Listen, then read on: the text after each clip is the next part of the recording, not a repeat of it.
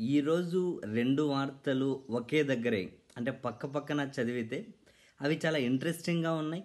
Present పరిస్థితికి అద్దం పట్టేలా ఉన్నాయి. ఒక వార్త ఏంటి అంటే కుబేరులు ప్రపంచ కుబేరుడు లిస్టులోనే ఉన్నటువంటి ముఖేష్ అంబానీ ప్లస్ గౌతమ్ అంబానీ ప్రస్తుత ప్రధాని నరేంద్ర మోదీ గారికి దోస్తులు. వీళ్ళిద్దరూ కరోనాకు భయపడి ప్రస్తుతం వాళ్ళున్న ప్రదేశాల నుంచి దూరంగా వెళ్ళిపోయి గుజరాత్లో జామ్నగర్ లాంటి చోట్ల ఎక్కడో చాలా తక్కువ జన సమ్మర్దం ఉన్న దగ్గర వాళ్ళు ఇప్పుడు నివాసం ఉంటూ ఉన్నారు. అంటే అక్కడికి వెళ్ళిపోయారు. ఎవరిని కూడా దగ్గరికి రానివ్వట్లేదు. అంటే అసలు జనసమ్మర్దం చుట్టూ కూడా ఎవరు లేని దగ్గరికి వెళ్ళి వాళ్ళు ఆ ప్రస్తుతం అయితే అక్కడ ఉంటూ ఉన్నారు అన్నది ఒక వార్త. మరొక వార్త ఏంటి?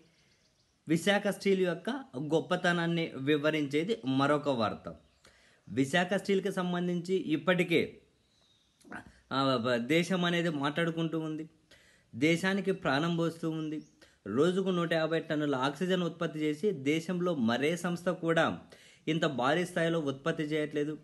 కేంద్రం నిర్దేశించిన లక్ష్యం ఏదైతే ఉందో ఆ లక్ష్యాన్ని ఖచ్చితంగా రీచ్ అవుతున్నటువంటి సంస్థ విశాఖ స్టీలే.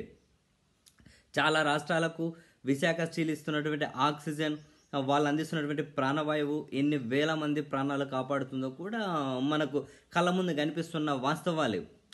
ఇది ఒకవైపులా ఉంటూనే మరోవైపు ఏంటి? విశాఖ స్టీల్ అనేది మరో గొప్ప పనికి శ్రీకారం చుట్టింది. అదేంటి? వెయ్యి పడకల కోవిడ్ కేర్ సెంటర్ని త్వరలో ప్రారంభించబోతున్నారు. వెయ్యి పడకలతో కోవిడ్ కేర్ ఆ సెంటర్లను ఏర్పాటు చేయబోతున్నారు. విశాఖపట్నంలో వివిధ ప్రాంతాల్లో అవి ఏర్పాటు చేయబోతున్నారు. ఉదాహరణకు అక్కడే ఉన్నటువంటి గురజాడ కళాక్షేత్రంలో యాభై సాధారణ పడకలు యాభై ఆక్సిజన్ పడకలు ఇటువంటివి వివిధ చోట్ల ప్రభుత్వ యంత్రాంగంతో వాళ్ళు కోఆర్డినేట్ చేసుకుంటూ ఏర్పాటు చేయబోతున్నారు. ఈ పడకలకు సంబంధించి స్వయాన విశాఖ స్టీల్లే తయారు చేయడానికి శ్రీకారం చుట్టింది. ఇంజనీరింగ్ మరమ్మతులు చూసుకునే వాళ్ళు ఈ పడకల తయారీకి కూడా పూనుకున్నారు. దానితో పాటు అక్కడ ఉచితంగా మొత్తం వైద్య సేవలు దాంతోపాటు ఉచితంగా ఫుడ్ కూడా విశాఖ స్టీల్ వాళ్ళే ఏర్పాటు చేయబోతున్నారు.